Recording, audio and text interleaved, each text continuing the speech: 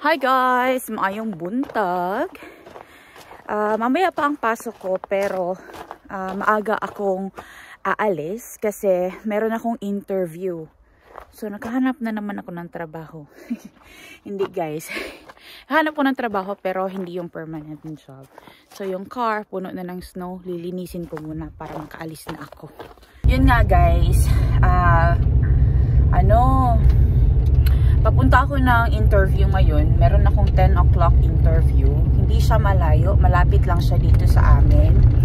Kasi, uh, naghahanap ako ng cake ka. And I also want to experience it and to understand paano talaga nag-work yung mga Hoiva Paika dito sa Finland. Yung mga elderly homes. Kasi never ako nakapag-work sa elderly homes nakapag-work ako sa Yatko Contotus uh, Sairala or yung rehabilitation hospital. Uh, ang ginagawa namin doon, kami yung nag i-evaluate, nag re-rehab ng mga patients para they, they will be able to function again and do activities of daily living. So if they are not able to do yung mga ADLs nila pupunta sila sa Hoiva Paika or sa elderly homes sa Palvelutalo o kaya naman sa bahay. Tapos meron silang um, community health nurse na tutulong sa kanila while nasa bahay sila if they are still able to live on their own. Right now I'm currently working in the hospital in the surgery department. So, wala talaga akong experience sa Hoiva or sa tawag nito. Yun nga sa elderly care, yung sa mga elderly homes ba. So, I want to understand how it works there. And since hindi talaga ako kumukuha ng extra shifts doon sa hospital na pinagtatrabahuan ko ngayon kasi ang iniisip ko mag extra shift ako tapos, magbabiyahe ako papunta doon. Tapos, babawasan din yan, lang yan siya ng malaking tax din. Parang it's the same thing na ano, buti pa magpahinga ako. Eh since dito sa lugar namin, dito sa Hamenkoski, merong uh, elderly home dito na Attendo. It's a private company. Yung kapitbahay kong Pilipino, yung dalawa, dyan sila nagtatrabaho. But I think they're going to leave soon. Mas gusto nilang tumira and mag-work doon sa city. Sabi ko, bago pa sila umalis, sana uh, maka-work ko rin sila. Kung mabigyan man lang ako ng, ng chance na maka-work sila. Pero kung hindi naman, gusto ko lang din kasi talaga i-observe paano yung system sa Hoiva Paika para I'll learn more. Learning is a continuous process and it will never stop once nakakuha ka na ng degree mo. And I'm the type of person na hindi ako mapakali. And for those of you who have been watching my vlogs since sa una pa talaga, kumikita ako ng pera dun sa mga cakes ko. Kasi nabibenta ko siya while andoon ako sa city. But since andito na ako sa countryside, wala guys. Wala akong cakes. Wala akong kitang cakes. So wala akong extra income. So, maghahanap tayo ng extra income, di ba? And since malapit lang to sa bahay, 5 minutes drive lang siya about. Kaya, hindi siya, ano, hassle ba. Tapos kapag summer, pwede akong maglakad or pwede akong magbike lang papunta doon para exercise. Pero ito na nga, dyan na side guys yung ano oh, yung mga sunflowers. Wala talagang kumuha sa kanila. Na-dry na lang sila. oh, na-dry na lang, natabunan na lang ng snow. Tapos, papasyal ko rin kayo mamaya dyan kung meron akong time. So, dito na ako malapit. So, dito lang yun guys.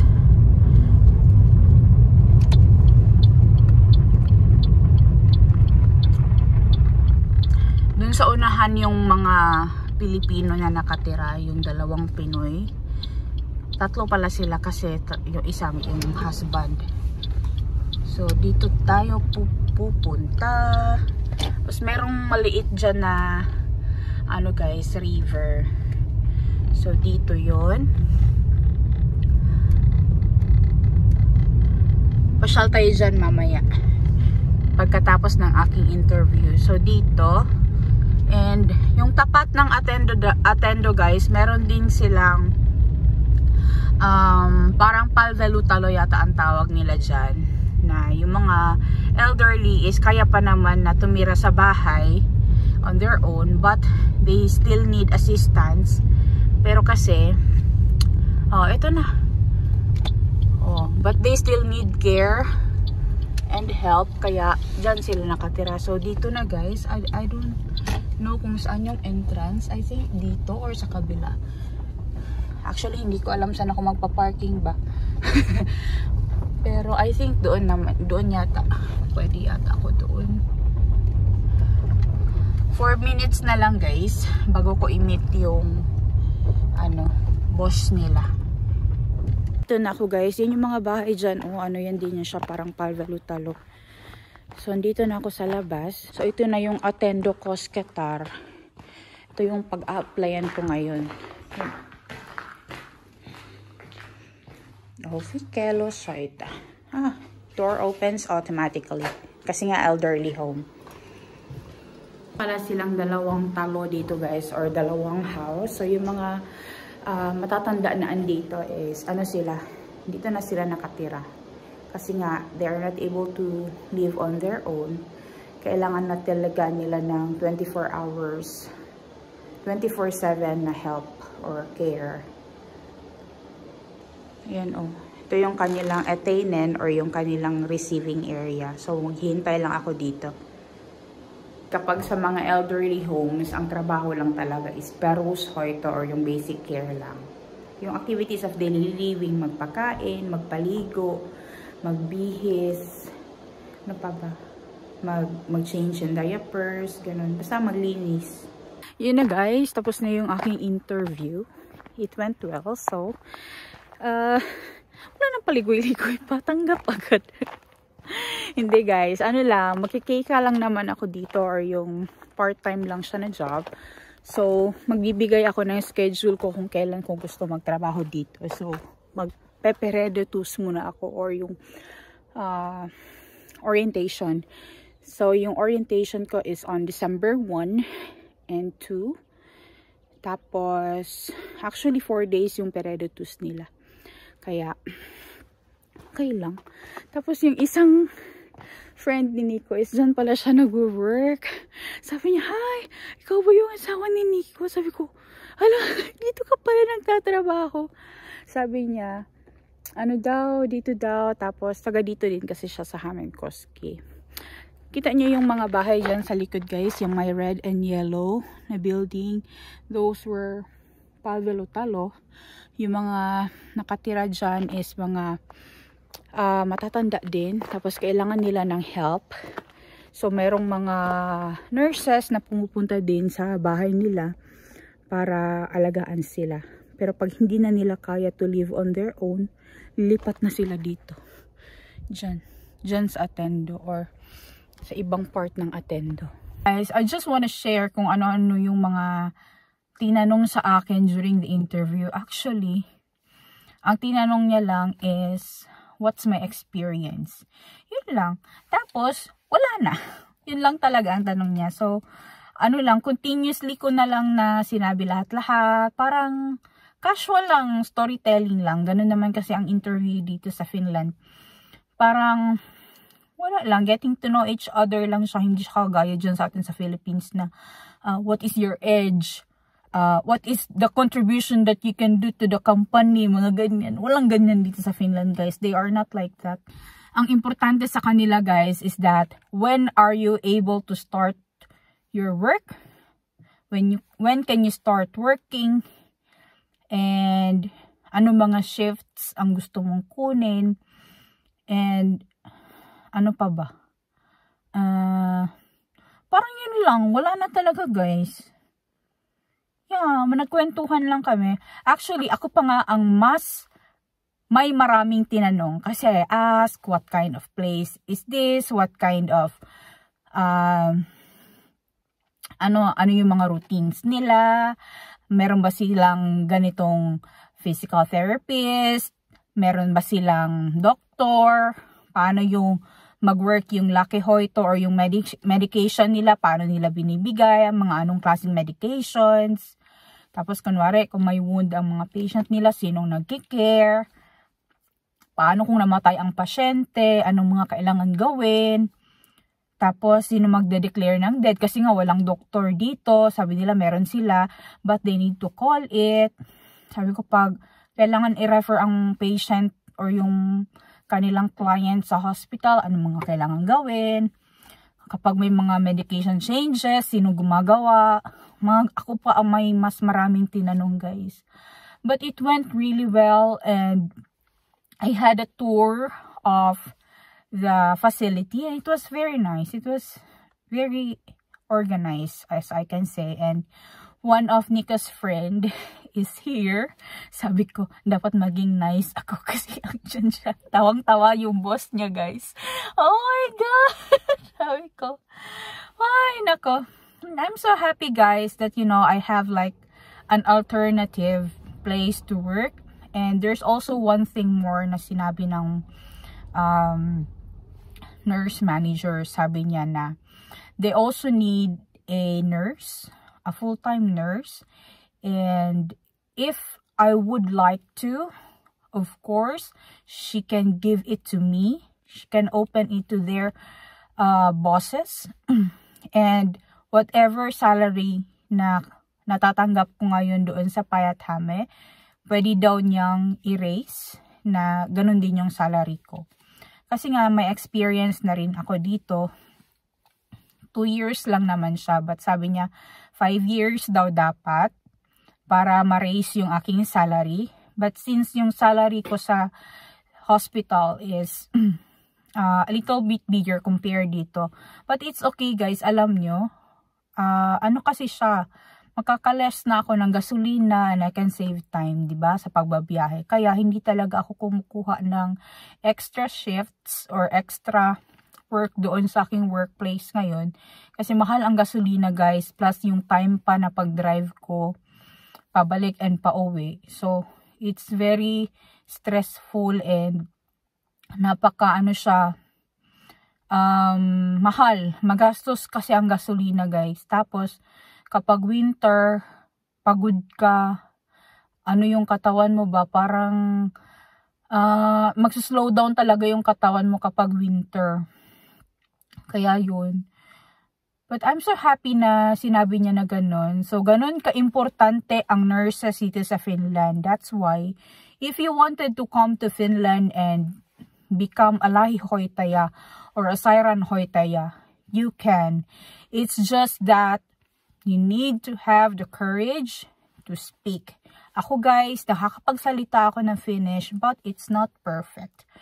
But I I can try to communicate to the patient as well as to the nurses and lalo na sa family that I can relay what I want to say. Ganun lang naman talaga. Hindi naman kasi kailangan dito sa Finland like sa English na highfalutin yung mga English words or yung napaka ano sa grammar. Dito guys hindi. They are not particular of that. They can be but um, usually most of the people try to understand you lalo na kapag foreigner ka. There are of course racists and yung mga rude na mga tao. But of course, hindi naman natin yan maiiwasan. They are them. Ganun talaga sila. So, hindi mo titingnan na lang yung negative side. You just look on the positive side of the, the why you are working. Kasi nga, di ba, tatrabaho naman tayo for experience, for uh, para kumita tayo ng pera, para makasurvive tayo. Yun naman ang importante.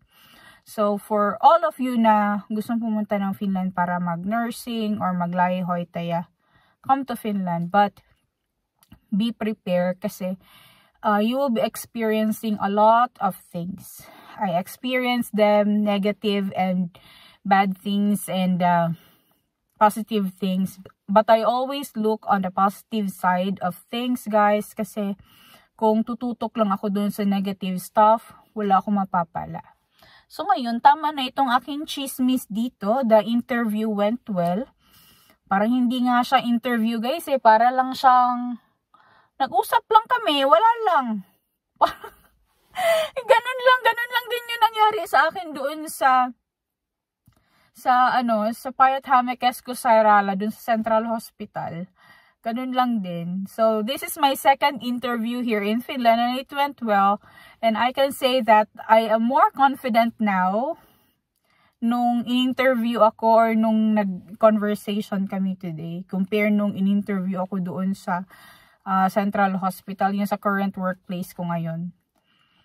So, hindi ako mag-full-time dito guys. I will just be doing part-time job, kika lang. So, kukuha lang ako ng ilang shifts per month or per list. Maybe 3 or 2 or 4. It depends. But, it's not gonna be like a full, full-time, full-time. Kasi hindi kaya. Kasi meron akong full-time job. And ayaw ko naman iwanan din yung aking full-time job doon sa uh, hospital ngayon kasi I'm still learning there. And I still want to learn more. Para pag ako ay nagtrabaho sa ibang workplace, I have the knowledge. And I can always bring it with me. Kasi nga, nasa sayo na yan. Hindi na yan pwedeng nakawin sa'yo. Yung experience talaga guys, na natutunan mo sa trabaho, yun talaga ang hindi hindi pwedeng kukunin sa'yo. Kasi, Nasa sayo talaga yan. Nasa utak mo yan. Hindi yan pwedeng kunin. Yung learning natin, yung experience natin, yan talaga yung the best teacher. Ay, yan talaga yung the best teacher, the best thing na pwede nating ikip para sa sarili natin. Wala man tayong masyadong mga papel, hindi man tayo ganun ka taas yung degree natin, hindi man tayo doctoral, PhD o ano ba yan. Pero kung meron kang experience and you love what you are doing, that is the best thing. Punta na tayo ngayon ng Sale. Meron dyan na malapit. Kailangan kong bumili ng gatas kasi wala na kaming milk. And hindi naman ako makakapunta today doon sa 8 euro Kaupa. Uh, kasi uh, meron akong afternoon shift. So bibili lang ako ng milk. Tapos uuwi ako ng bahay para maglinis. Kasi meron pa akong dalawang oras na pwedeng ugugol para sa bahay para maglinis guys. Nandito na ako sa sale guys. So, bibili lang ako dito ng gatas. Siguro snack na rin para kay Nico and Anika. Bibili na rin siguro ako ng snack nila. Hanap tayo dito na pwedeng maging snack nung dalawa habang ako ay nasa trabaho. Pero importante talaga yung gatas kasi wala na kami gatas sa bahay. Merong naka 30% doon guys. Oh. So, bili tayo nito. Ito. Lactose free ba ito? Ay, hindi man ito lactose free guys. Hindi tayo makakabili nito kasi hindi lactose free. So, itong lactose free ang bilihin natin. Kasi lactose free kasi si Nico guys. Hindi siya pwede ng ibang gatas kasi nga sasama yung kanyang chan. So, dalawang gatas. Tatlo na lang tatlong gatas para ano, kasya siya sa tatlong araw. So, hindi talaga kami bumibili ng sobrang dami din kasi may malapit naman na store dito sa amin kung kailangan namin ng milk. Dito, oh, marami silang mga tingnan mo ah, dito how much yung ano nila. yung kape guys, oh, na nakuha ko doon, oh. Doon sa doon sa 8 euro ganyan yung nakapi Yohola Mocha magkano yung Yohola Mocha Yohola Mocha ito guys oh. Yohola Mocha 619 o oh, di ba? 619 yan oh. Tapos nakuha ko dun sa 8 euro di ba? Ang laking tipid. Tapos hindi man yun sira. Hindi man siya gimolds or ano. Na wala lang yung kanyang vacuum guys kasi pakita ko sa inyo ulit. Kasi ganyan siya oh, pag binili mo siya sa store ganyan siya oh, para siyang naka vacuum o yan o oh, gahi kay siya bato pero pag ano siya natanggal yung kanyang hangin sa loob wala na kasi may gusto bumili niyan kaya tinatanggal na nila sa store nilalagay na sa Haviki or sa waste food Ito yung nabili ko guys, o, oh, tatlong gatas, tapos apat na donuts para sa snack. Alam niyo ba how much lahat yan? Lahat yan is 8 euro and 93 cents.